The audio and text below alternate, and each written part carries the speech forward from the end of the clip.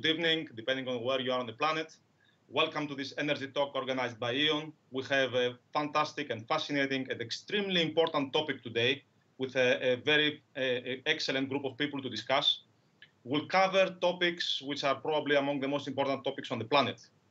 About the planet, climate change, about energy, about data, which is also often called the new oil, ironically, about technology and artificial intelligence, about other technologies, including blockchain, and how all those things relate to each other today and in the future, how they can relate to each other for a better future.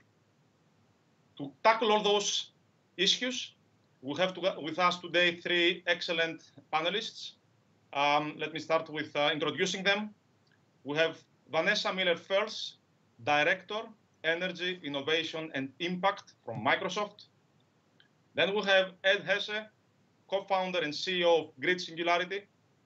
And we also have from E.ON, Juan Bernabe Moreno, Chief Data Officer and Global Head of Analytics at AI at E.ON. It's a pleasure to be here with all of you, and I'm looking forward, hopefully like all our audience, for a great session and lots of fun covering important topics. Just a little bit of bookkeeping. We will start with uh, some opening statements from our three speakers. Then we'll exchange a couple of questions among ourselves to cover, to set up the stage in some sense. And then in about 35, 40 minutes maximum, we will uh, open the floor to Q&A from the audience. And then we'll close in about uh, 85 minutes, five minutes before the end, for some closing statements and a wrap up. Looking forward to getting the questions from you and collectively discussing these important matters. So let me start with um, asking our three panelists to open up with some statements about how all those words, important words, energy, climate change, data, AI, relate and affect each other, both positively and potentially also negatively. Um, we can start from um, Ed, if, um, if, um, if you may. Thank you, Ed. Yeah, sure. um, thanks for having me. Um, yeah, you know, when I was first invited to this talk, controversy, uh, controversy around AI, um, you know, I, I, asked Juan first, uh, what is actually the controversy? Because um, you know, we um, we work in blockchain and AI, and uh, we try to uh, we're building kind of a new market design, which is uh, a next level fragmentation of the market design that enables um, anyone to participate in markets. And the only way that is possible um, actually is uh, where um, you know there is AI trading on uh, consumers' behalf because consumers, you know, they won't be trading for such small values. And um, you know, unlocking this value, we just see uh, benefits uh, because um, if anything, can participate in markets. Um, it just means it can get a, a return on investment, and uh, meaning there will be, you know, unlocking AI in, the new market design will bring more and more advantages um, to bringing more renewables into the grid. So, you know, and then and then Juan actually told me the controversy uh, that it, um, you know, um, training AI and so forth uh, takes a lot of energy, and that immediately led me to the statement or the, to uh, you know to the thinking that in the last few years we had a lot of um, um, uh, how to say um, there was a lot of kind of um, um, talk around how much energy Bitcoin is using in Ethereum proof of work mechanisms in those blockchains. And um, and, and and for sure i mean that that's true you know uh, those blockchains uh, they use a lot of energy and um, but also here you know there is still um, a, a, development going on. It, it's kind of it, it, was a first inefficiency that has been overcome uh, by EnergyWeb as a as a network which is utilizing a, different uh, uh, consensus algorithm. And there is other networks third generation blockchains uh, blockchains which are now also going away from the proof of work mining to other very uh, low energy intensity consensus mechanisms. So that's kind of um, the angle I can contribute to this talk, and I'm curious to hear the other positions. Thank you, Ed. And uh, it's interesting to you already plug in in the discussion words which is potentially surprising ex ante, but as we will see, very central, like markets, web, networks, of course, ROI, right? New market design, I it here. Energy web, fascinating concepts. Uh, we'll talk about them later on. Vanessa, would you like to take a step to the to the opening statements? Thank you. Thanks, Theos. Uh, happy to to join this panel on this uh, very core conversation for for Microsoft. Uh, obviously, we are at the nexus of AI, data, uh, climate change, um, and for us, for Microsoft, it's very clear that the next decade has to be the decade where we're tackling climate change and where companies like Microsoft are uh, at the forefront of contributing to climate change mitigation. So the first thing is, yeah, what's the what what is uh, the footprint, uh, and what can we do to uh, reduce that footprint? And Microsoft has taken some pretty bold steps last year, precisely a year ago, where we made the commitment that Microsoft will be carbon negative by 2030. And so, what does that mean? That means that we will remove more carbon out of the atmosphere that we emit every on a yearly basis.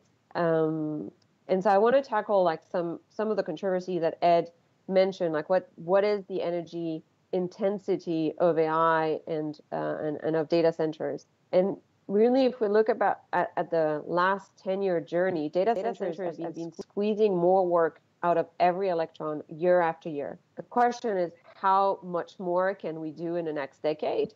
um, for us to meet our, our carbon negative goal and what will be necessary, uh, as Ed pointed out, from markets, uh, not just kind of from what we can do within our four walls, what we can do by improving energy efficiency. Like we, we're optimistic about technology and the promises of technology and AI, but it does seem that at the end of the day, data centers will still consume energy and we won't be, won't be getting to a, a, a zero energy data center. Uh, but for the last decade, we've seen that um, the amount of computing done in data centers has increased by more than 550% between 2010 and 2018. And the amount of energy consumed by data centers only grew by 6% during the same time period. So the energy efficiency gains that have been made in the data center space really kind of outpaced anything seen in any um, major sector of the economy.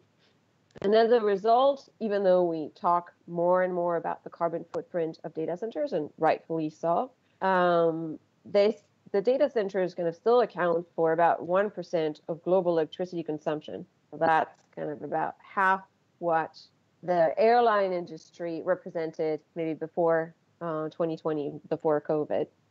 And so this is really kind of what we want to continue delivering, kind of continuing to improve the energy efficiency of data centers. But then I said it doesn't stop uh, at what we do within our four walls. And so when we came out with this strategy of being carbon negative, uh, we put a f- few principles to kind of guide our journey. And one is definitely put data and digital technology to work. Um, simply stated, we can't solve a problem that we don't fully understand. And so we feel there is uh, an opportunity to leverage data to really deliver real-time carbon footprint, kind of the carbon truth uh, of, of, of our actions, not just Microsoft action really, but everybody's action. Um, the second one was was really the one I already talked about is okay, let's let's, let's take, responsibility for our carbon footprint and let's do the best we can do within our four walls to reduce our carbon footprint. And the third one is really Microsoft carbon footprint is is is important and we should tackle it. But when we look at our numbers, um, so we reported 16 million metric ton of CO2 last year for scope one, two, and three. So that means our direct emissions, the emissions from the electricity we consume, and the emissions from our value chain, uh, supply chain, and, and use of sold product. Like when we compare that to Exxon, who just reported for the first time their uh, scope one, two, and three, and reported over 700 million metric ton. Uh, we have a lot to offer and to figure out where data and AI can do to help decarbonize the world and others like Exxon. Um, so that's really where it's it's exciting, and I hope we get to talk a little bit more about like what we do with others, with customers, and with the energy sector at large. Thanks to you. Thanks, Vanessa. Excellent stuff, and yes, we'll get to this how you guys do this and how the world is doing this. I must say that um, uh, it's kind of um, uh, strange for many people maybe today. Definitely, it has been for me re- until recently that you know we talk about digital and and pollution somehow, which makes no sense, right? I mean, when I'm thinking about pollution, I mean, I'm thinking about you know people about companies with uh, with smoke coming out from you know from from the factories, coal mines, energy companies. I'm not thinking about you know computers and digital, but you know as you said, electricity consumption. But then we have the rest of the economy, the non-digital economy, if you like, which is transforming itself and is playing itself a role into this um, energy transformation and um, all of these important issues we're discussing. So Juan, you um, you represent the energy sector and um, one of the most tra- traditional sector, if you like, in many ways, although it's transforming itself. Can you just walk us through a little bit about what's the role of big energy companies in this discussion in high level for now? Thank you. Um, thank you, Theos. Uh, pleasure to be here. Uh, great panel, great panelist. Uh, enjoying that already. Um, let me put it this way: uh, climate change is something that we need to solve. We need to solve now, and there's no second chance for that. Um, one of the factors that uh, we need to address within the climate change is like uh, the energy transition. We need to push for that, and there's no way around of using our data, as Vanessa said, to understand better where we have the levers, but also to address uh, traditional problems like how can we just infit renewables into our kind of uh, uh, quite old grid infrastructure? How can we make it work? Another aspect is like, as we know, the energy transition means that we're going to be moving from central to decentral energy setups, which means that everybody can participate into the energy world, becoming a prosumer, uh, but it's it only works if we have the right uh, technology in place so that uh, whatever energy amount that we can create locally uh, or store locally can be used uh, um, globally or kind of in a bigger scale by everybody. It only works without human intervention. It only works if we have the proper technology in place. And for me and for my team at E.ON, um, that's what we do every day. So we come to work and uh, we help uh, addressing the energy transition or accelerating energy transition with our algorithms. The controversy, um, and I'm with Vanessa and with Ed in that, uh, comes because uh, AI, of, of course, uh, um, needs data. And uh, in order to make it work properly, it needs an immense amount of data and this uh, data is not uh, for free. It needs to be stored, even if the efficiency in the data centers is uh, increasing magically. Um, we have some kind of uh, pay to uh, price to pay there. And uh, the latest advances in AI, they are pointing out to something called um, red AI in contraposition to green AI. And red AI is basically just buying new results or better results by just uh, using bigger uh, infrastructure and more computing power. So there's a controversy in the academia as well discussing uh, the role of uh, clean or green AI versus just uh, throwing uh, parameters or data into the mix and you know um, getting an insane amount of energy being consumed. And the last part that's important here is like the origin of the energy. So if we manage at least to, tra to trace the energy origin uh, so that we can demonstrate that all the, the energy consumed by by algorithms or by AI or by computing uh, in a data center is coming from a green source, then of course it's a different story than just uh, putting more carbon into the mix. So that's something that uh, needs to be addressed as well. So that would be my my opening words. Thanks, Juan. And indeed, uh, I must say that the energy sector is one of the most fascinating sectors for data people to work at, because as you said, there is an important purpose, save the planet. It's a big purpose. Mm-hmm. Um, I must say, just um, for the audience also a little bit, I've been working in um, machine learning and AI for about 25 years, uh, 20 years at INSEAD, and before that I was for 10 years in MIT. And in the 90s, I was working at the time in machine learning and computer vision we were running um, uh, machine learning algorithms which had uh, to estimate, I don't know, maybe 100, maybe 1,000 parameters, maybe a couple of thousand parameters using a couple of thousand images, maybe 10,000 images. It was very slow. I would just press a, press a button, go to sleep, come back the next day and see what happens. With a couple of thousand images and a couple of thousand parameters of a, let's say, sophisticated nonlinear regression, whatever it is. Today, we need millions of images. We use we use not need, we use millions of images, and we estimate billions of parameters like coefficients, numbers in the statistics. That's what that's what we're talking about. If one does like a, a similar to a Moore's law analysis regarding the data usage and the computation and the improvement in performance for machine learning algorithms over the past 25 years, one finds that actually the improvements, speed, accuracy, data hungriness, data consumption has been a Moore's law to the power of two, doubling much faster than Moore's law has been doubling for the past, has been, uh, has been in computation, has been increasing in the past 50 years. It's amazing how fast it goes because it's about data and computation and algorithms. So a lot of innovation, a lot happening is very fast, and it's kind of amazing. I would have never, for, uh, I would have never guessed 25 years ago that 25 years later we'll talk about pollution from machine learning. It's like, oh, I never guessed this, never, ever, ever before. So it's amazing. Now, let me go back to you, Vanessa, and um, ask you if you don't mind to dig a bit deeper into the how. So you mentioned about all the initiatives you have at Microsoft and how yours, both internally inside your walls and externally to help customers. So if you give us a little bit of more color and um, examples and um, you know, information and lessons learned and data and facts about how you do this.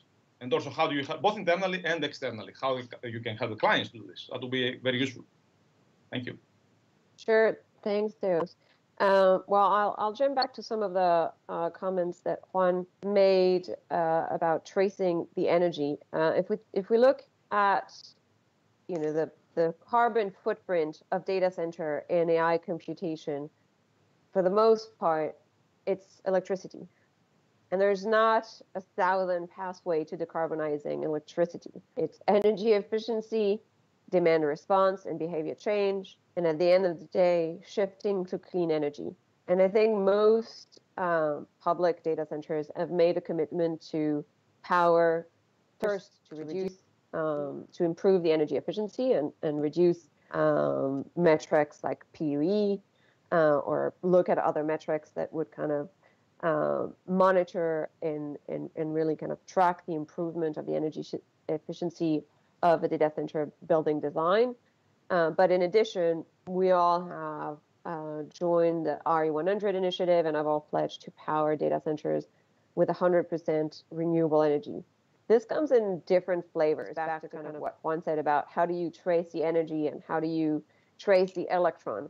And that's an interesting one because there's um, there, there's no such thing as tracing the electron uh, directly, at least from a, an electricity uh, standpoint.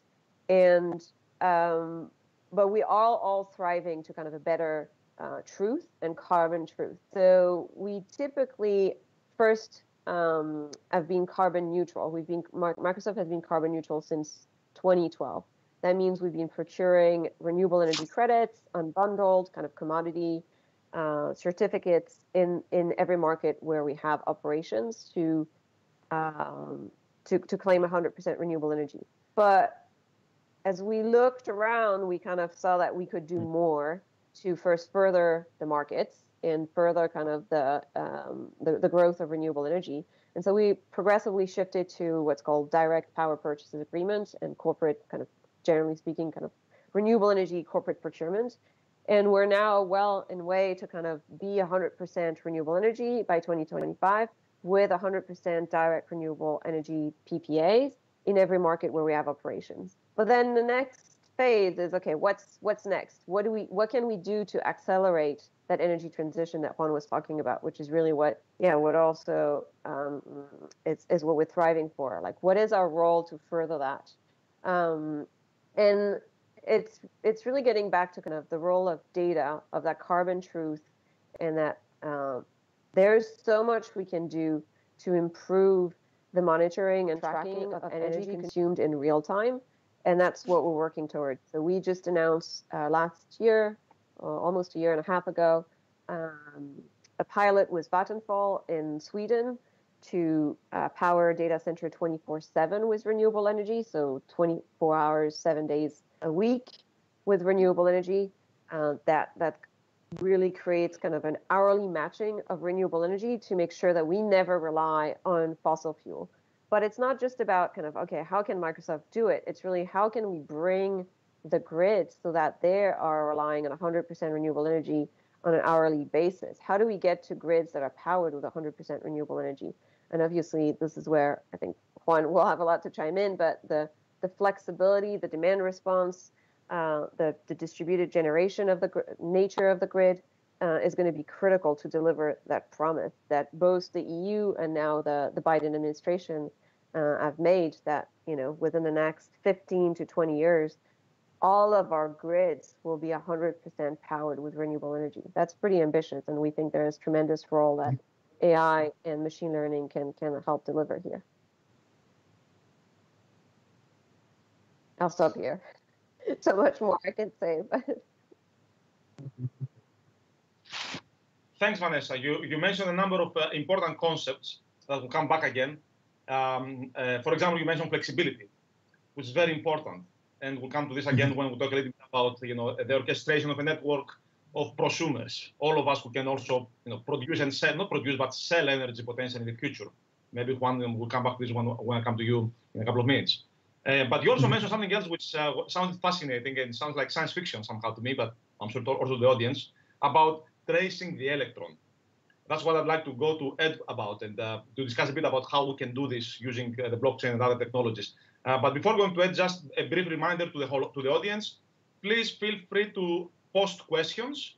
We'll be answering your questions, some of them, not all of them, it's not possible, of course, in a few minutes after we finish uh, our, our discussion.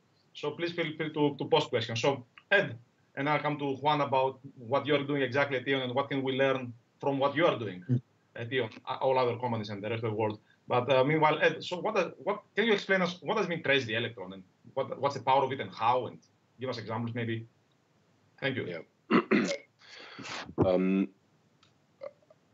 we have been um, founding the Energy Web Foundation four years ago was exactly this goal. How can we create um, um, a, a, smallest common denominator in the energy market where all agree upon a specific state um, of transactions? And um, and the goal of that was actually create kind of a substrate to create kind of um, an environment uh, that is trustless, which anyone can use to actually trace electricity.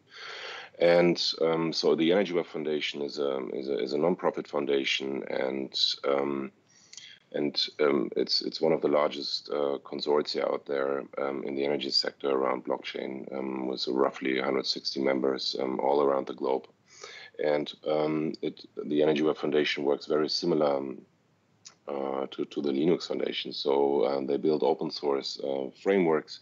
And one of the first frameworks they built, um, kind of a, it's, it's, it's a toolkit um, that is running on the Energy Web chain, is actually to trace to trace electricity. It's called the Energy Web Origin. And um, a lot of um, the affiliates from the Energy Web Foundation ha have taken this um, um, open source uh, framework and built actually markets um, on top of the Energy Web chain to trace electricity. And um, and now we basically have um, a layer where you know it, it's not necessary to trust a specific entity, but you know we we all have kind of you know one single source of truth and and and, and, and that was just the beginning um, of the Energy Web, uh, kind of the work of the Energy Web Foundation. So, one of the and, first and use cases. So that that's a quick clarification question for our audience, because I know I understand the audience is very diverse. So, can you give us a yeah. bit, walk us through the life of an electron, roughly speaking? Yeah. What does it mean to trace? Yeah. Why, how, and why, yeah. and how do we use this tracing? Just as an example, or maybe. You know, energy market, um, the, the, the, you know, all you need to measure where does it go in and where does it go out. And um, so means everything needs to be kind of um, authenticated um, um, you know how much does this power plant produce uh, how, how much does uh, somebody consume at the same time or store and feed in again. And so once we start measuring all of that and putting all these measurements into a layer um, in, in, into you know authenticate the data so that it um, uh, can be shared, then we can actually start tracing electricity, and that's exactly the framework of origin. So um, um that's that's the simple mechanics of it, and um, uh, one of the uh, one of the interesting um, kind of use cases that we saw in the last year was there is um, more and more blockchains um, on the market um, that wanted to prove that uh, the source of the electricity for their um, for their blockchain is green. And so the Energy Web Foundation also created a tool called Energy Web Zero, um, in cooperation uh, with with some chains like Ripple and Corda, which are also consortium chains. Um, and uh, they're utilizing this tool and they're tracing electricity, uh, which they use for maintaining their chain on the Energy Web chain and thereby they can prove um, that all the electricity that they use um, to create their kind of um, uh, network is green. And um, now the biggest difference, uh, I mean, you know, the, the, question is uh, certificates of origins already existed before. Now the difference with uh, with Energy Web is um, um, uh, with the Origin toolkit is that uh, sorry, some kids here um, is that the new framework enables a much bigger fragmentation, a much smaller granularity of accounting that.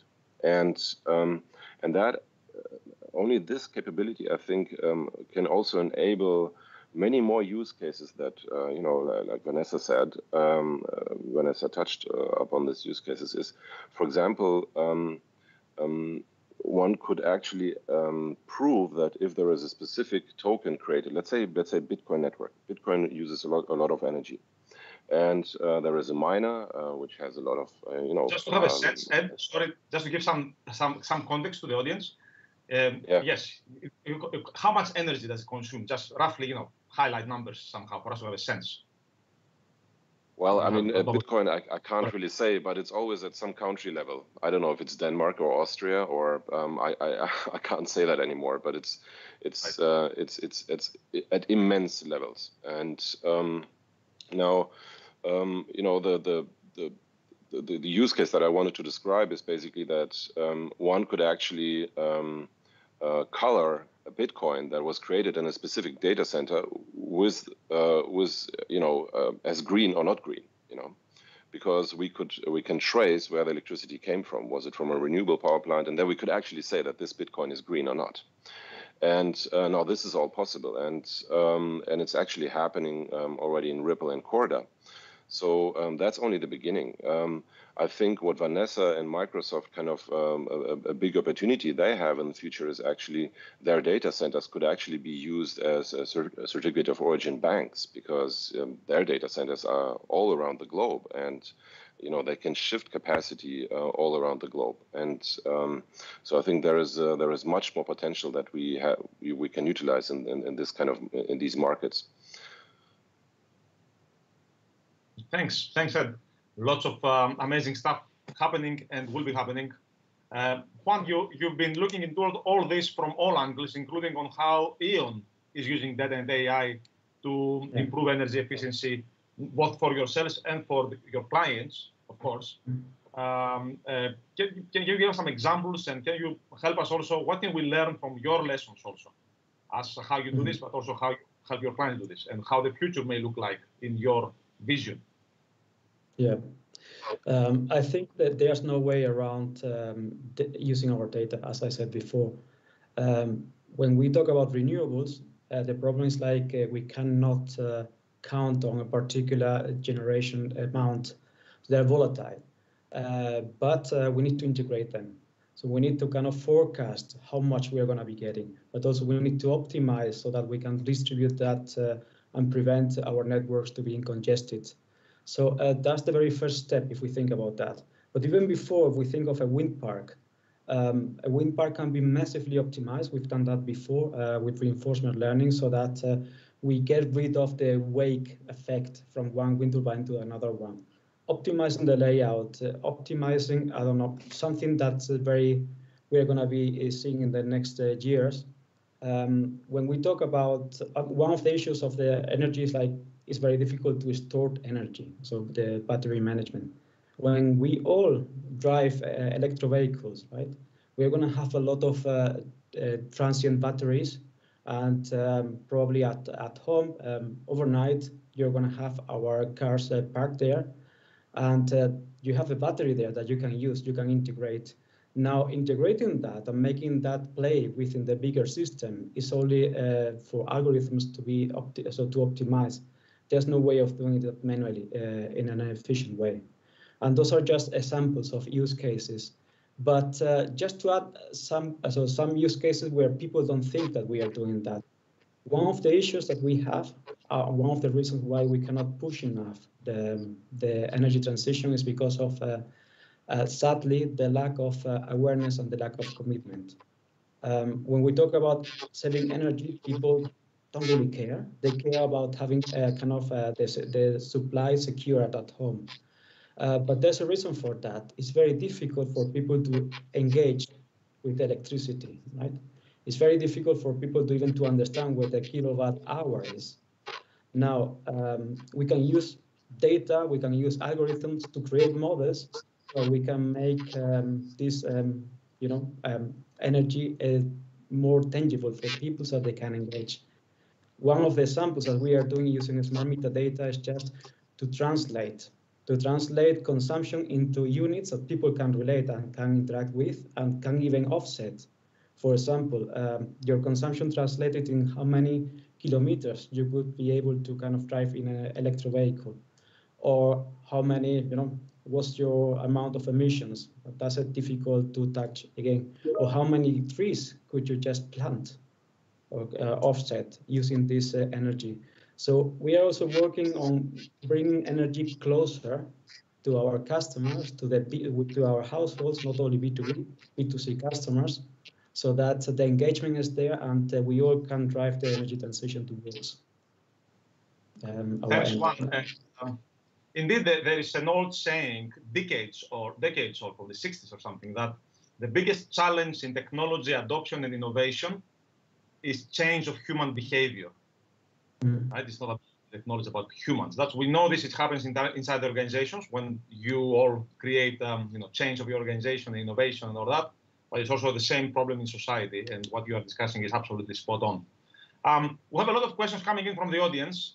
Uh, before we move to that one, I have only one last question to all of you to just share your thoughts. So clearly, we're talking about problems which, as Vanessa said, they are not sitting only inside the walls of a company. They can be sitting outside the walls of a company you all talk about networks, about your customers, about you know uh, the, the, the consumers, the people, the education, everything. So it's a system that we have to optimize somehow. I like the word optimization, Juan, you mentioned many times. At the end of the day, we are far from optimized on this planet. Uh, that will become evident to all of us that we are really unoptimized. It, definitely in terms of uh, consuming and producing and sharing and distributing energy. So we have way to go. We're still like in industrial revolution kind of times in, in some ways, one can say probably closer there than today in that sense. But now all these kind of changes require collaborations. Collaborations between different organizations, collaborations between different countries, regulators, companies, different industries. Anything to share on your mind and maybe also wishes about poten potential collaborations that will be needed or good examples of collaborations that are already happening. Uh, we can start from Vanessa if you like, um, given you started talking about out, inside and outside the wall. What's your take on what kind of collaborations we need going forward to tackle all those problems?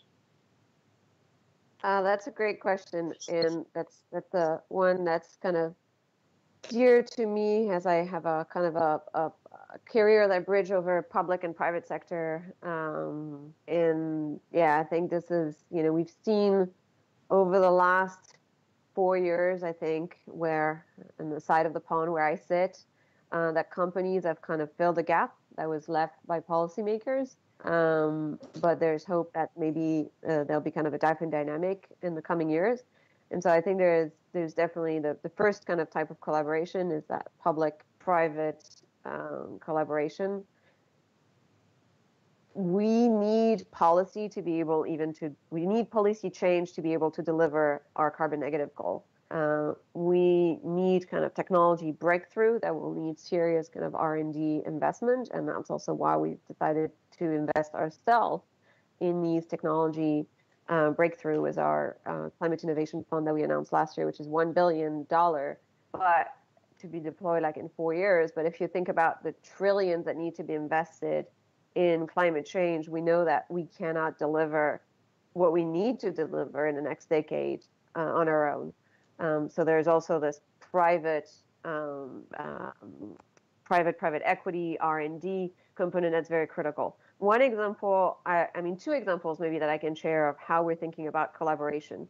So we've there's so much that we don't know, and uh, even though it's not necessarily a, a, good reference, I like to talk about the unknown unknowns or the known unknowns. But we have we have definitely a lot of both, particularly when you look about scope three emissions, the emissions from our supply chain. And so we'll need much more kind of collaborations between um, mm-hmm. customers and suppliers um, we'll need to create the tools together. And I think all companies that have scope three goals, and there's more and more companies that are setting scope three goals to be in line with the 1.5 uh, degree pathway scenario or, or with uh, uh, the science based target initiative, um, we'll need to share our best practices. And so we announced in July last year the Transform to Net Zero Coalition, uh, where with eight other companies, including Maersk, Nike, Unilever, uh, Natura, we've we we're kind of gonna exactly do that, kind of share uh, our best practices of how we're tackling our scope one, two, and particularly scope three uh, carbon emissions. What does it mean to be net zero versus carbon neutral versus carbon negative? Like you know, we're all talking about things that are voluntary. Companies have all set targets that are voluntary, unless you're maybe facing kind of the EU ETS in Europe. But for Microsoft, it's all voluntary targets. It may change as policy change, um, but because it's voluntary, that means there's many standards, and uh, and we just need to be kind of more transparent about what actually we're trying to do. And then another example of kind of collaboration that I, I think is pretty exciting. Uh, we talked a lot about you know getting access to more data, leveraging the data, and really trying to understand better the problem. Um, we know so little about the earth, and I'm getting a bit outside of the energy sector here, but we know so little about um, the biodiversity. Like there's so many species we haven't mapped. We we don't we don't know you know how many animals there are, and so we've created last year. We've announced last year this planetary computer effort, which is really very similar to the digital uh, twin uh, Earth that the EU has announced, and and a few efforts that NASA is putting together, and that's kind of very exciting because it's putting the research, the academics, um, the companies that are dealing with large amounts of data, um, the, the, the companies that are trying to address, like for example, poaching um, uh, of endangered species, or, or or planting or agricultural business, like all together to really leverage the full potential of AI. And um, and and the idea here is, you know, the planetary computer will won't solve it all. It will be the planetary computer plus the European Spatial uh, Agency, plus NASA, plus all these efforts that will really help us um, to to have a better picture of what is going on with Earth and how do we monitor and tackle climate change uh, over the next decade and, and then up the next 10 years because it's hard to think about 2050. Uh, so I think there's lots of potential for cooperation. Yeah, great. This, this is amazing. I mean, I'm getting goosebumps when I'm hearing about the planetary computer because at least when I was growing up, I barely had a computer, right? It was like working with a kilo. Kilo, kilo was K. I would see K in front of everything, you know. And now it's like, you know, planetary computer. Amazing. And we're only the beginning. Let me just remind the audience. I always like reminding the audience the following. It's been about 150 years, maybe less, that we started not using, at least in some parts of the world, methods like uh, bloodletting and removing the basically removing the blood of people to treat them when they are sick, right? it's been like for thousands of years until like we started doing scientific approach to clinical trial and clinical trials and scientific approach to thinking and you know deciding that we were killing people by removing their blood when we want to treat them. So we are still at the very beginning of the history of planet Earth. And it's about time finally for computers to come in the picture. So I, I really love this planetary computer or planet, the, the, the, concept over here and fascinating stuff. Uh, Ed and Juan, maybe, and then we go to the audience briefly so we can have time for the audience questions on the collaborations. Sorry. Yeah, maybe from my side, I mean, the uh, yeah, the the, the, planetary computer, I really like the idea because I mean that that was you know um, uh, that was the idea behind blockchain. You know, where you have one computer that you know that, that can't be stopped, uh, where which we can use to outsource um, kind of frameworks um, or rule sets, uh, you know, that all agree upon. So you know, everything that we do at Energy Web Foundation or Grid Singularity is not possible without collaboration because um, without consensus, uh, there is no joint state or there is no joint kind of action that we all agree upon. And so, and that is that is also very much kind of the culture change that we try to push. Um, I've been working in energy markets in the last 20 years, and um, you know, compared to the um, pure IT sector, uh, sector, it's it, it's not very open, you know, and so the the you know there is hardly any open source tools. Um, there is uh, not so much collaboration around um, sharing tools and um, and so forth. And so, I think in the last four years, we um, I'm very proud of that. That with the Energy Web Foundation Grid Singularity, we at least have contributed a little uh, to this uh, to this uh, culture change.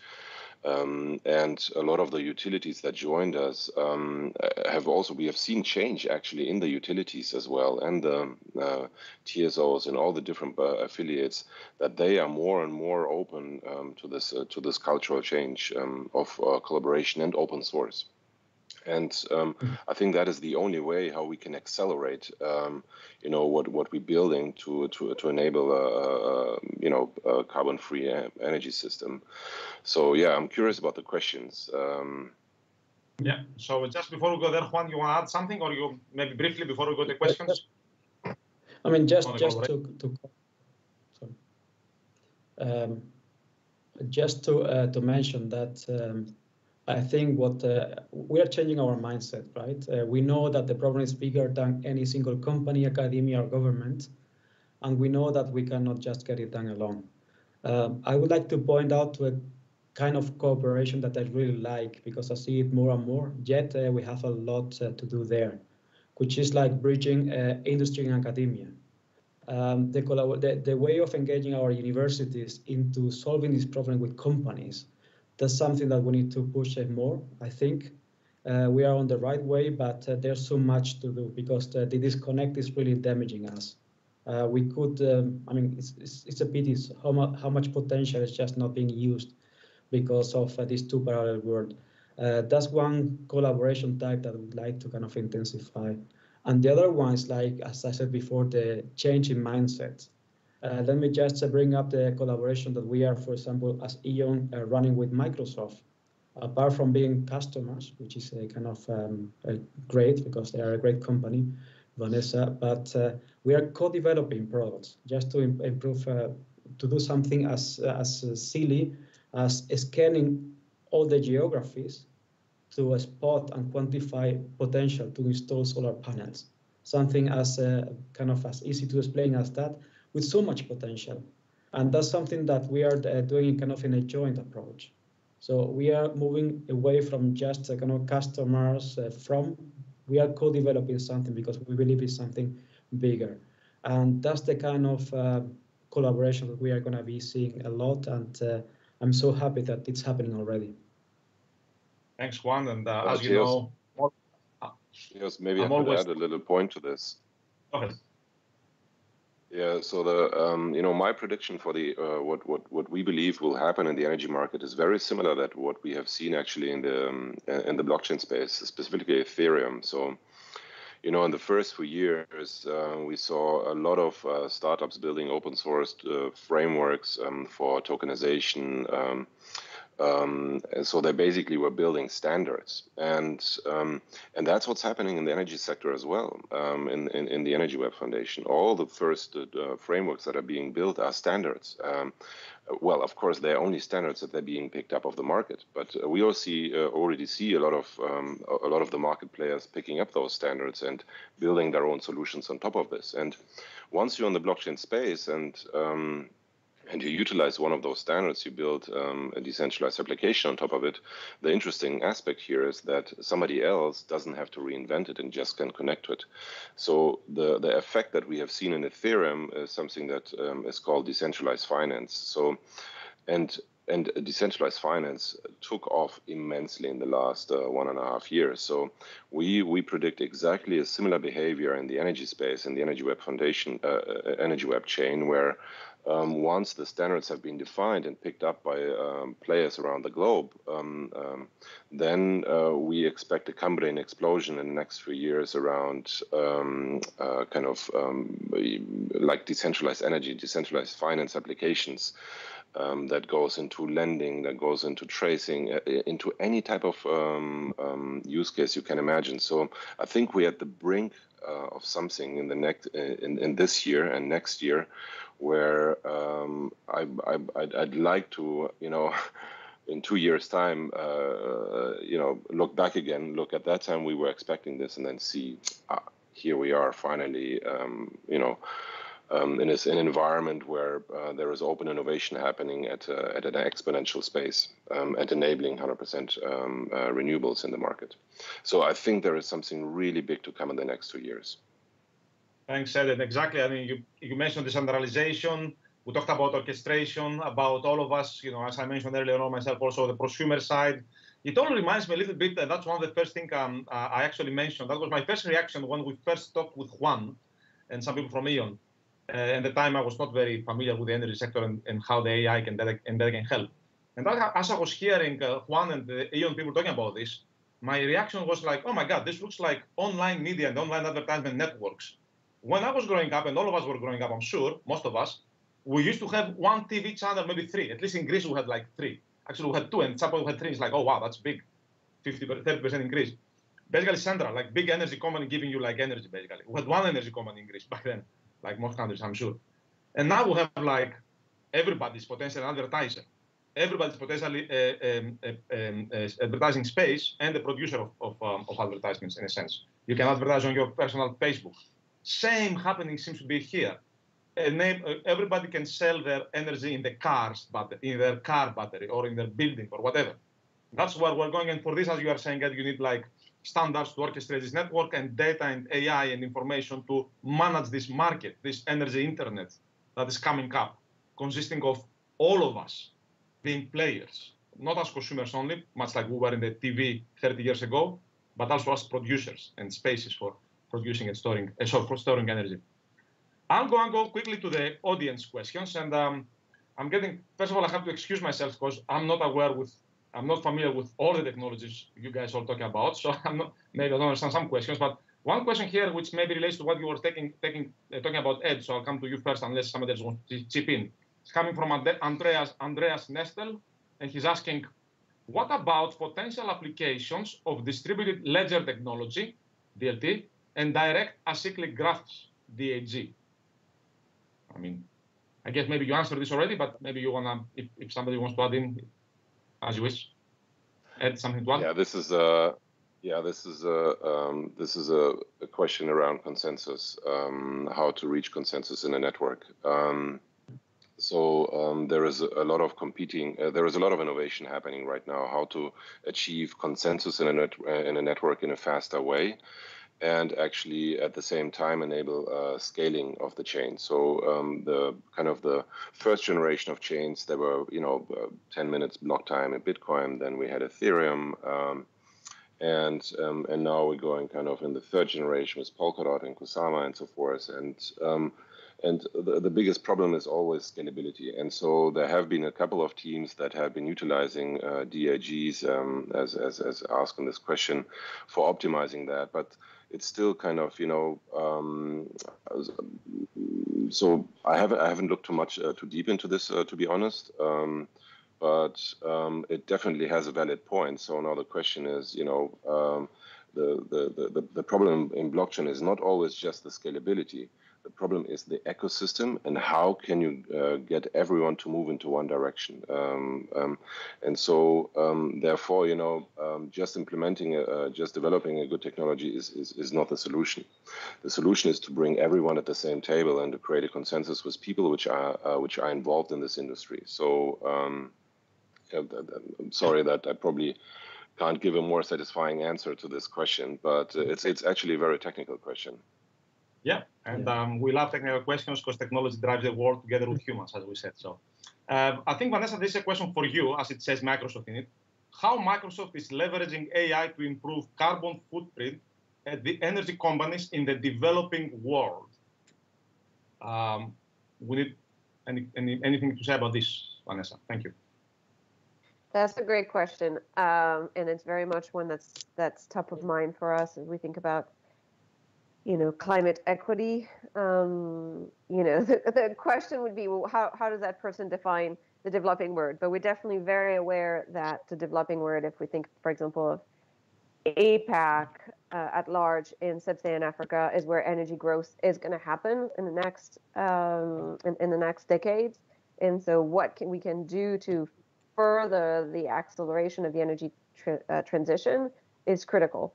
So the first thing we do, and the first thing we're, we're working very uh, intensely on, is the decarbonization of our supply chain. And as you can imagine, uh, our supply chain uh, as a as a as a key footprint in APAC countries, uh, particularly in in um, China, India, uh, and and a few other APAC countries like China, sorry, Japan, uh, South Korea, which are not developing countries. So I'll just focus on China and India. This is definitely uh, a key focus for us. How can we bring solutions to help decarbonize uh, and green the, the electricity supply of our uh, of our suppliers, direct and indirect? And we have just so much work to do there, but this is a huge opportunity um, because we consider kind of it almost as a low-hanging fruit in terms of decarbonization. And then is what can we do with customers? So similar um, to partnership we've we've created over the last few years with LNG companies in um, Europe or the U.S. is how do we engage with customers in these markets and how do we deliver a solution to these customers? And we're working uh, with with a number of utilities, uh, but also uh, you know customers that are that have global supply chain. I mentioned earlier, for example, Maersk. I mean, Maersk is definitely a global supply chain, and we'll have operation in a number of developing countries. Um, and then the the last uh, piece I mentioned the Climate Innovation Fund.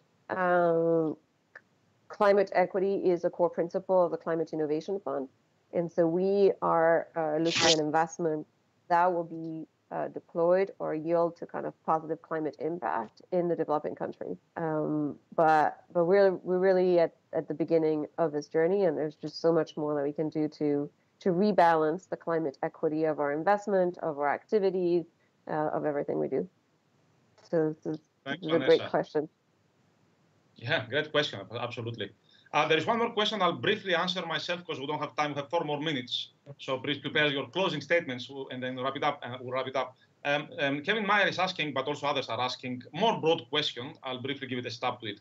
What's your take on AI's role in making other industries, potentially unsustainable industries, more competitive in many ways? And um, all I can say here is that um, uh, uh, what we observe, at least in all studies we do, myself and others at INSEAD and other places, is that, as I mentioned before, we are still at the very beginning of a journey of transforming organizations and economies, of course, at the end of societies, towards what one can call more data-driven organizations, organizations which basically the decisions are much more efficient. A little bit like the transition I mentioned before in pharmaceuticals, let's say, from bloodletting and you know centuries of kind of random ideas people had about how to cure people to data-driven, evidence-based clinical trials, that led to the development of every decision, including you know what COVID vaccine to let out there.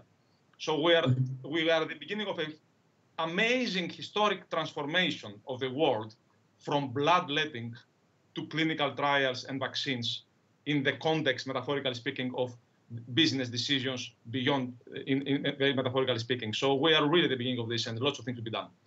A couple of minutes left. Briefly, speed round. Juan, Vanessa, Ed, closing statement. Juan, starting from you. Okay. Just, uh, well, in, in, two sentences, right? Uh, I think uh, AI is uh, key in terms of driving the energy transition as we are uh, implementing every day. And all the problems caused by the, you know, the, the needs for from AI um, in terms of environmental impact, um, they're going to be solved by the research community, as we are seeing today. And if AI is not, uh, I mean, if the footprint of AI in terms of emissions is uh, still high, then we have a new waves of technology coming, which is quantum computing. And quantum computing is promising uh, way more efficiency in terms of uh, energy consumption. So very, very uh, thrilling future ahead of us. Okay. Yes, technology will never stop coming. Indeed, we shall continue. Vanessa? Yeah, I, I think it's it's. I mean, the the good thing about um, the controversy um, is that it keeps us on our toes, and we'll always have to think about you know the good and the bad of every technology innovation that we're we're um, we're kind of uh, birthing or furthering. Um, and I think transparency is going to be key. I mean, there's many other controversies around AI, and uh, one of the solution is transparency. So if we can be, if we can create the tools that are transparent, uh, that that deliver the carbon footprint of AI computing in real time, and that's what we try to do with the Microsoft Sustainability Calculator. This is like a good step in the way, and as as you said, Juan, the the research community hopefully will will make sure that we're all transparent and we're delivering to that promise. Thanks, Vanessa. Transparency is also a key word in the discussion about responsible AI. It's a key word for democracy. It's a key word for the core value of you know what we all believe in in many ways. So why not also in the energy and AI and data space? Ed, closing statement. Yeah, yeah, I can only agree on that. What uh, Vanessa said and Juan. Uh, transparency is number one. Second is authenticity, authenticity of data. Uh, then joint uh, rules, joint standards, and um, all of that is happening now. You know, the first steps are being done. Um, so um, all we can do, you know, all, all you know, is, is, is to accelerate. And um, I mean, the crypto space is also kind of helping that a lot now. You know, as um, as uh, the world is more and more um, acknowledging what is happening in the crypto space you know there is more funding available uh, to really double down um, on on the goals we have set ourselves uh, four years ago. So um, I'm really really looking forward to the next three years um, in um, in accelerating this uh, this change. Um. Thanks, thank you, Ed. So let's close with this word. Let's double down. Let's continue the fantastic work. Lots to be done. Thank you very much, Juan, Vanessa, and Ed, and the audience. Again, just to remind you, this is uh, a talk in the series of Energy Talks organized by E.ON, and looking forward to seeing you in a future event from this series. Thank you, and mm-hmm. have a good evening, day, or morning, wherever you are.